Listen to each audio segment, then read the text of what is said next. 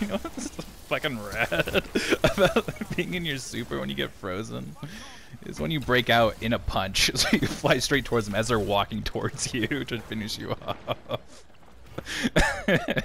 and then you just get decked in the face. And die. so funny. It's like, yeah, we froze him with our silence.